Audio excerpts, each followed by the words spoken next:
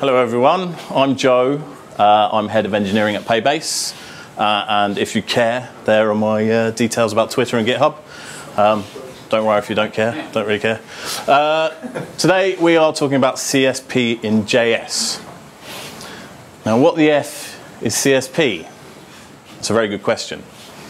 Uh, CSP stands for Communicating Sequential Processes. Uh, CSP is described in a book of the same name from 1978. And CSP is a model for orchestrating concurrency. Now, what does that really mean? Okay? So, what the F is a process in this term. Uh, a process is a piece of software designed to fulfill a specific task, and a process can complete a unit of work independently, and processes can be run concurrently. Think threads. But, I hear you ask, JS is single-threaded. So how does this work? We can pause execution now with async await. We used to be able to do it with generators, but I do not like generators. Uh, async await is a lot nicer, and we can fake threads. So here we, I hope everyone can see, but here we have a simple async function, which is defined as a fake thread. It's an infinite loop because we can pause execution. So if we are awaiting an input at this point, we are pausing execution until we get that input. And then we can fulfill the task by processing the input and emit a result of that output. Now, if we have multiple fake threads, this is where CSP fits in. It's a mechanism for communicating between those two fake threads in JS land. CSP is based on the idea of using channels to communicate between these processes. Uh, one process may put a message onto a channel the, uh, that another process takes from. So let's talk about ping pong. This is a standard implementation that lots of people go into when they talk about CSP bear with me, okay? Each bat is a process. Each bat's task is to hit and return a ball over a channel. And the ball is a message. So here's a very small snippet of code. I've snipped out the CSP implementation. Basically, this would expose three methods, channel, take, and put. Channel is a factory method. And then there are two functions which take channels and uh, one will take a value to put onto a channel, and one will just take the channels to take from. So we're going to create two channel channels here, one for whiffing and one for waffing. We're going to create a ball factory here and a bat factory here. And this bat factory actually takes two channels, an inbound and an outbound channel. And again, we're infinitely looping here because we are using the take method to await an inbound, inbound value on that channel. So then we incrementally hit the ball, change whiff to waff and waff to whiff, and assume that maybe it takes 500 milliseconds for someone to actually hit a ball in table tennis. Probably not right, but anyway. And here we can await the put method onto the outbound channel. Now the funny thing here is that we are awaiting put, which means we are awaiting for someone ready to take from that channel. So this will not actually resolve until something is ready to take this message from the channel. And here we create two bats, uh, two bats. We create a bat that will whiff waffs and a bat that will waff whiffs. And then we put a ball on the waff channel. And what we get is an infinite loop of, two processes playing ping pong. Now obviously that's a bit useless. It's just infinitely looping. So why, what for? And initially I wasn't so sure.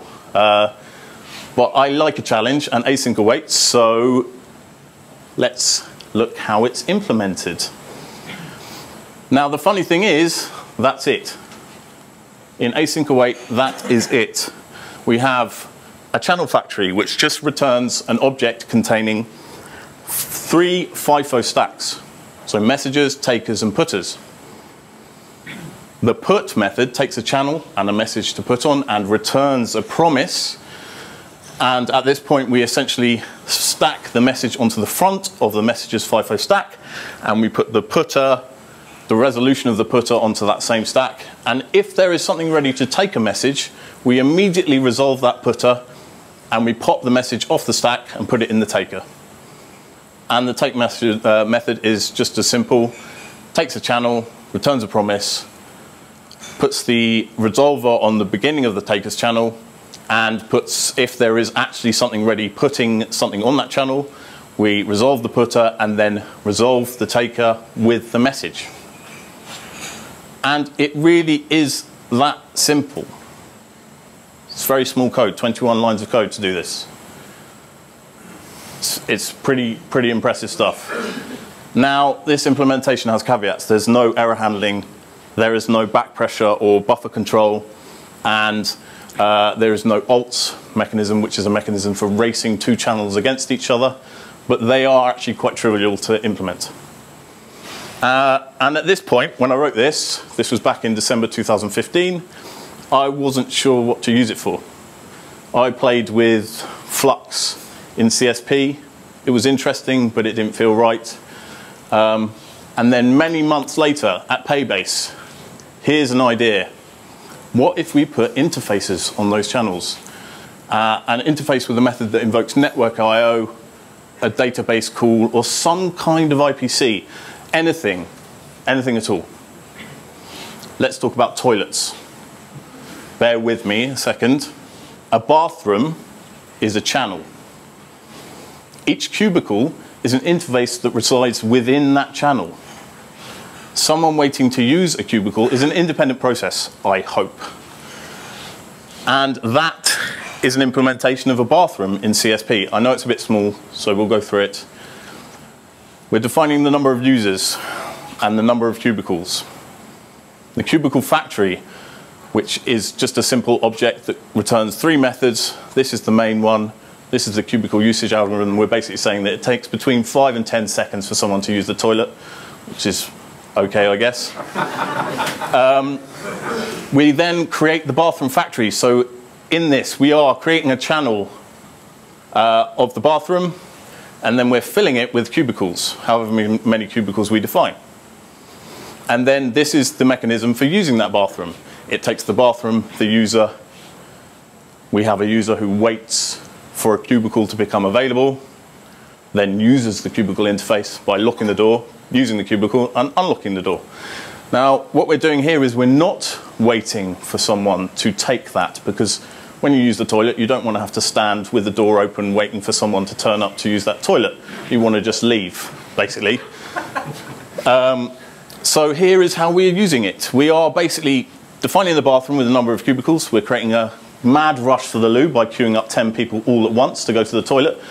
And we are then awaiting them all to finish. So this is what it looks like. You can see multiple people using cubicles. And when they're done, it's done. So, hang on a sec if we put spawn child processes on the channel, that's a process pool. We're passing processes around on a channel for our fake threads to use. Enter paybase pool. A package available on NPM for creating pools. Simplifying network I.O. parallelization. Now this simple implementation what it does is it creates a pool of two parallelized uh, request uh, processes and will essentially allow us to create a simple mutex lock. This is not something that's actually a process, it's just a locking mechanism that locks the availability of this process for one network I.O. operation at a time. And this is the handler. We ignore the initial process that's passed in, but we get an input from the run command, which is the query. The query is passed off to a fetch, and then when we're done, it is automatically, as soon as we resolve this uh, promise, the handler returns a promise, as soon as we resolve this, this process is ready to be taken by something else. And this is how we run it. So we are creating 20 requests, and we are rating them all at the same time, and they will run with two, a parallelization of two. And it's quite simple, really. It's quite nice, it's quite effective. Child process pooling. Again, this one's slightly more complicated, but here we're creating a pool size of 10, limiting the number of spawn processes. we define a create process as returning an actual spawned child process. In this case, it's cat, um, which will just echo anything that you pass into it. And the handler just wraps the process's event emitter, resolving when we get our result back. And obviously running this, we actually run uh, 100 requests against a pool of 10, and we await all of those. And it does it pretty quickly. So there you go. Now, we use this for various things. We use it for migrating lots of data, uh, for request parallelization. We have thousands of transactions that we sometimes need to migrate, and it can take upwards of three hours, but we don't want to hammer the new system. We don't want to hammer the old system. We want to migrate at X number of a rolling buffer, and it gives us that power. But it also allows us to do things like be pragmatic in our use of languages for certain things, like cryptography. We use Go to do cryptography. We run a binary, we spawn up a pool of binaries, and we offload the work to those binaries. Um, so it's very powerful. It's very powerful. In closing, CSP is very powerful. It's a very powerful abstraction. Its implementation can be deceptively simple. You saw it, it's only 21 lines yet it has multiple applications within async control flow. I haven't really even scratched the surface of this. There are so many more applications, um, and it's just an exploratory thing. You need to find out where it fits in, but it does fit into a lot of things. And it's all possible natively in Node 8. So we don't Babel anything to be able to do this. We just run it in Node 8.